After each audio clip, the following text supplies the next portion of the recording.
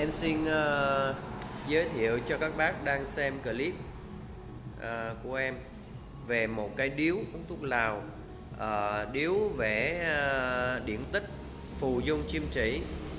Uh, và một bên cạnh đó là một cái bài thơ phù dung phô thị thái tiên điểu hí trường sinh.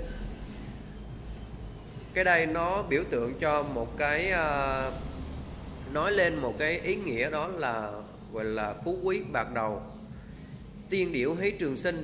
À, chim điểu nó là một trong những cái à, loài chim được à, tôn vinh.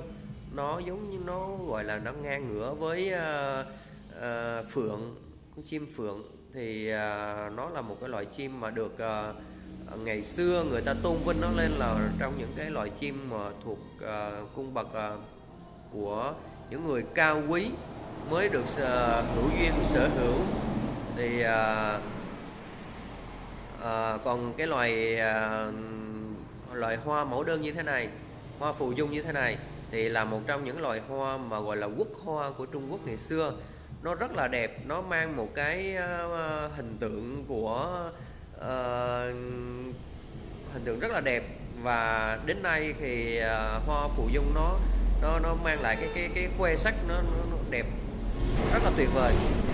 Thì các bác có thể uh, tra các bác có thể tra cứu trên Google hoặc là trên uh, các trang báo về loài hoa phù dung thì các bác sẽ thấy được cái vẻ đẹp tự nhiên của hoa phù dung.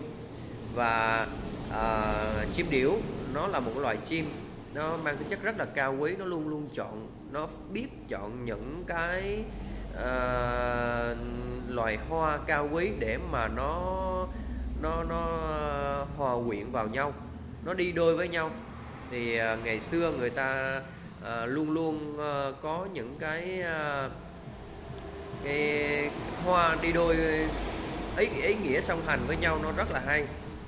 Thì hôm nay em xin gửi gắm đến cho tất cả các bác xem một cái điếu hiệu đề nội phủ về đề tài vẽ à, tích phú quý bạc đầu và hơn thế nữa chim điểu là luôn luôn là một trong những cái loài chim mà uh, mang lại biểu tượng ờ, uh, trung thủy và hạnh phúc.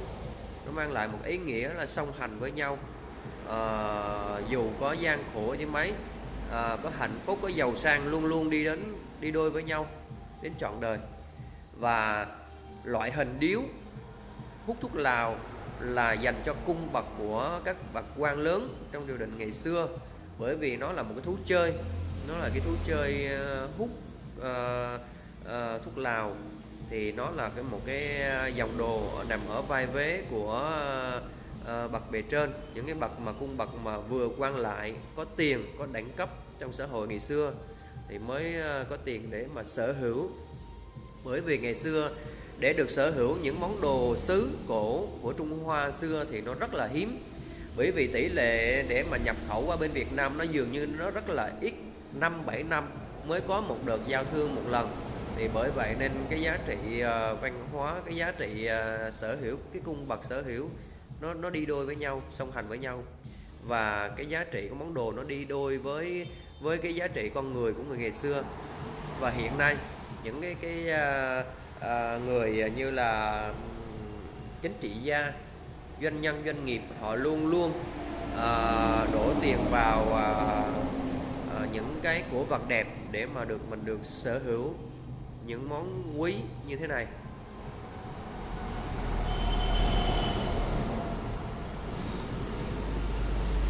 Thì hơn thế nữa à, à, đến với em các bác à, sẽ được à, hữu duyên và sở hữu những món đồ cổ những món đồ chính quy trên thị trường.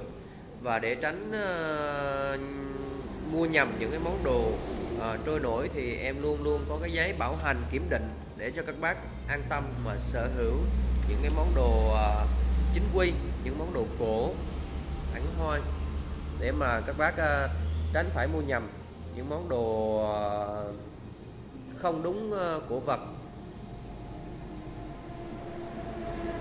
Và cổ vật à, là một trong những món đồ nó mang lại cái giá trị à, văn hóa nó rất là cao nó rất là tinh tế.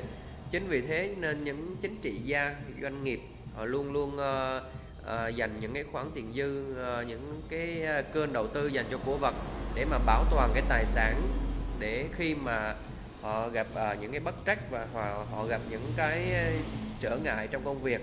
Và cổ vật nó luôn luôn bảo tồn theo giá trị năm tháng giá trị uh, về kinh tế nó rất là cao cho cung bậc của từng người trong xã hội. Bác nào có yêu thì kết bạn Zalo với em để mà em trao gửi những món đồ quý như thế này để các bác an tâm mà sở hữu. Và các bác xem những cái nét chạm khắc rất là tinh tế,